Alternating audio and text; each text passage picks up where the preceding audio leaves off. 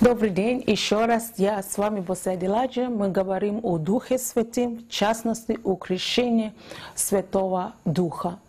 Дух Святой очень нужно, и крещение Духа Святого очень нужно, особенно проявление говорения на иных языках, она нам очень помогает в общении с Богом.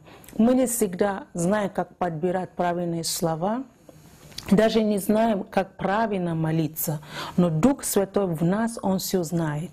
Поэтому это, знаете, это что-то выше кричи, это что-то выше человеческого эм, умения, человеческой возможности.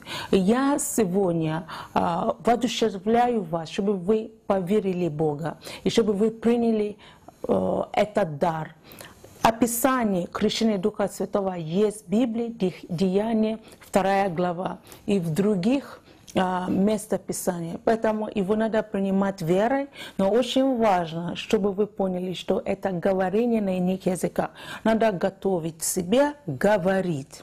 Надо готовить себя говорить. Знаете, это как на старт уже стать. И просто когда я говорю «говорите», нужно начинать говорить. То есть вы готовьтесь говорить. Если я вам сейчас говорю «говорите на иных языках», вы скажете «я не знаю, что сказать», что, может быть, вы засчитаете «ко-ко», «ко-ко», «та-та-та-та». Но отличие крещения Духа Святого, что вы начнете говорить, оно у вас начнет получаться, но на языке, который вы не понимаете. И это доказательство, что Бог развязывает ваш язык, и Он дает вам молитвенный язык. Крещение Духа Святого, иначе мы называем э, молитвенный язык, иначе его называю английский язык. Поэтому, пожалуйста, повторите со мной эту молитву.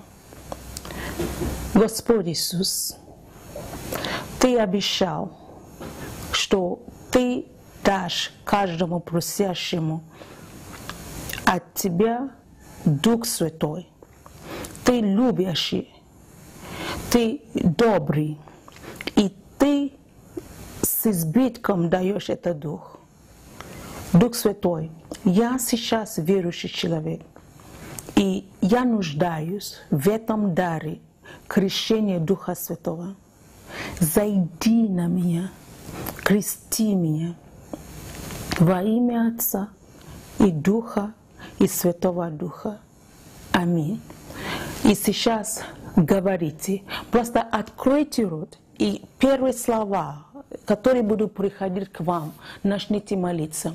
Допустим, я уже крещена, и вот так я молюсь.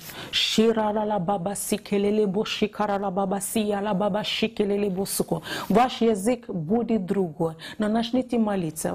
Вначале оно будет не связано, непонятно, может быть, ну, вообще непонятно, но чем больше вы будете молиться на этом незнакомом языке, чем легче привычное оно станет для вас. Это бомба, это духовная сила. И, пожалуйста, старайтесь всегда молиться каждый день на этом языке.